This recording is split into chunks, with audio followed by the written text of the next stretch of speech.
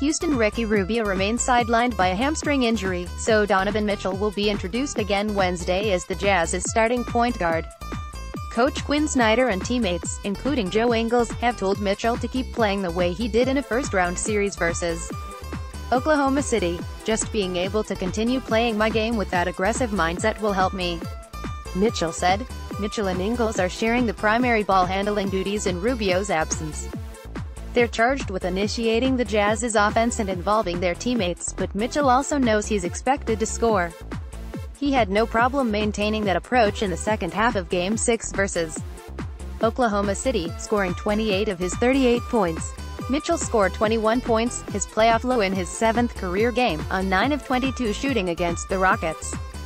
The Jazz's defeat led his friends and relatives to send messages of support telling him to keep his head up.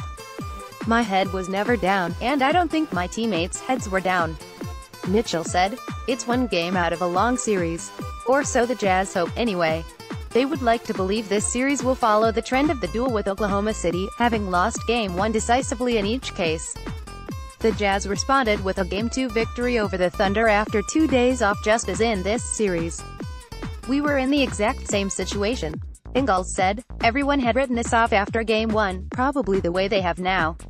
We have a great group.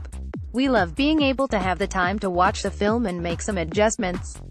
In Mitchell's case, the study of Game 1 involves Kobe Bryant.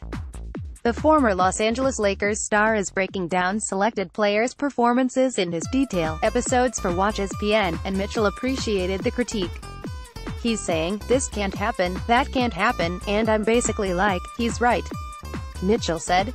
As his career develops, Mitchell hopes to learn from this year's playoff experience of having to refocus from one series to the next, 36 hours in the case of Game 1 versus Houston. After beating Oklahoma City, he discovered how quickly you have to forget about it to move on to the next game. The Jazz will have had considerably more time to get ready for Game 2, and they hope it helps.